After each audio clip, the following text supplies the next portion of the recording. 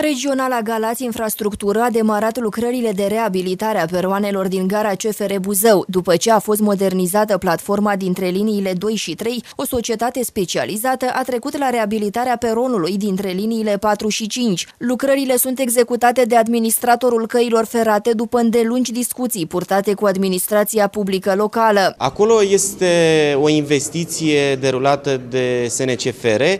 Din punct de vedere al municipalității, noi ne-am exprimat exprimat întreaga disponibilitate pentru, uh, mă rog, a ajuta la igienizarea acelei zone și la reabilitarea uh, peroanelor și a celorlalte facilități din gară. Starea de degradare în care se aflau, nemulțumirea călătorilor, dar și problemele de siguranță cauzate de craterele din peroane au determinat autoritățile să ia o decizie. Lucrările de reabilitare nu se vor opri doar la cele de asfaltare. Într-adevăr, rămâne descoperit acel pasaj care deservește două cartiere ale municipiului Buzău.